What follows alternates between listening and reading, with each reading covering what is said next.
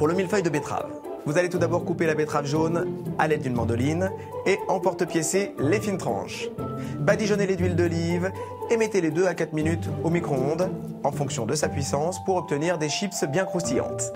Puis, coupez la betterave rouge en fines lamelles et emporte-piécez-les.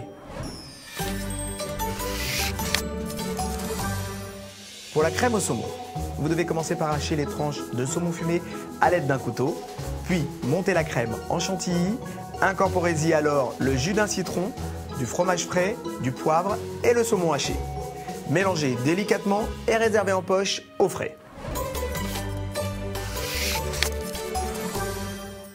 Pour le concombre, réalisez des bandes avec le concombre sans l'éplucher.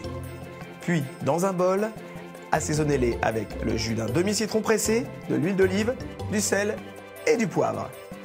Avec ces bandes de concombre, faites des mini rouleaux. Pour le dressage, vous allez devoir réaliser une rosace avec les ronds de betterave rouge, puis déposer dessus les rouleaux de concombre. Remplissez ensuite les rouleaux avec la crème au saumon à l'aide de la poche. Ajoutez les chips de betterave, enfin parsemez de fleurs de pensée.